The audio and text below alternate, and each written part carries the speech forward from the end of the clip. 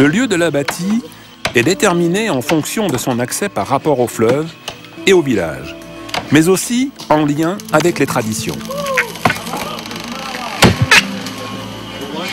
L'abattage des arbres est un travail collectif et solidaire, réservé aux hommes.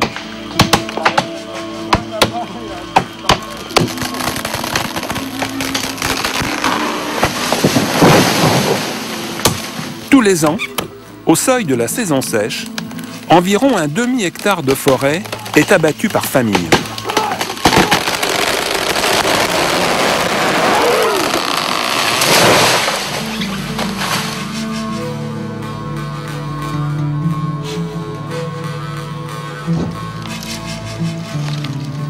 Dès le début de la saison sèche, le feu est mis aux branches et progressivement, l'espace est dégagé.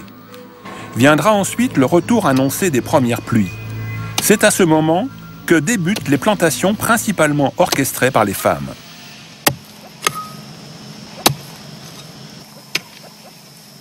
Ces gestes sont observés et enregistrés par les enfants, qui suivent les parents dans leurs tâches quotidiennes.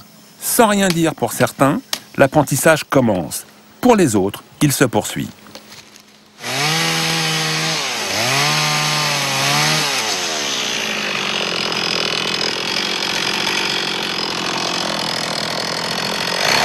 Pour les enfants, c'est important de faire la bâtie. Je vais montrer comment, comment je fais la bâtie et comment je travaille. Et après, quand il sera grand, puis peut-être il va, il va faire tout seul. Pour la chasse, pareil, pour aller à la pêche, je vais apprendre comment on pêche, comment on chasse. Et puis lui, comme lui, il aime bien aller pêcher, tout ça. Il n'arrête pas de me demander, papa, est-ce qu'on peut aller à la pêche, tout ça? Comme lui aussi, il est à l'école. Je dit, il ne faut pas que tu manques l'école, tout ça.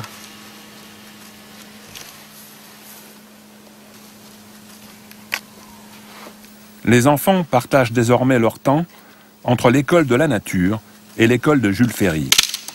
Mais beaucoup d'entre eux savent déjà que les racines tubercules de l'igname sont plantées dans la cendre encore tiède, alors que le manioc se cultive à partir de repiquages de segments d'une trentaine de centimètres de longueur.